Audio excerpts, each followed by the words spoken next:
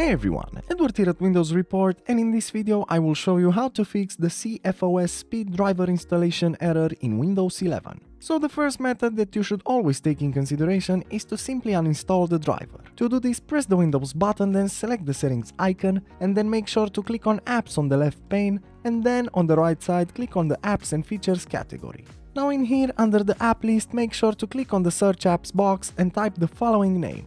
As you can see, the cFosSpeed driver is now in the search results, so click on the ellipsis next to it and select the uninstall option. Now after the software is uninstalled, the cFosSpeed driver error should be fixed and no longer cause any trouble. Another useful solution is to uninstall cFosSpeed from network properties. To do this, press the Windows button, then simply type ncpa.cpl and simply select it as a control panel item from the search results. In here, just right click on the network adapter that's active on your PC and select the properties option.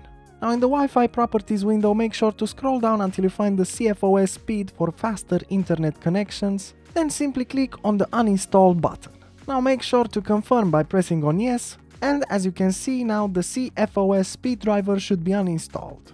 You can now close this window, restart your PC for the changes to take place. And lastly, another useful solution is to download the cFosSpeed software. To do this, you need a browser and to access the link that I posted in the description below. So just copy paste this link in your browser and then simply access it. As you can see, this is a direct download link. So make sure to choose a location, then click on the save button. Now after the download is finished, just minimize your browser and access the setup link.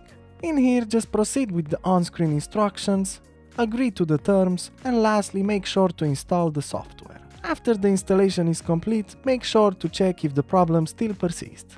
And that's it. Plenty of solutions to consider. As usual, for more information and details, you can check the article in the description below. And if you enjoyed this video, just make sure to like and subscribe to our channel. Thank you.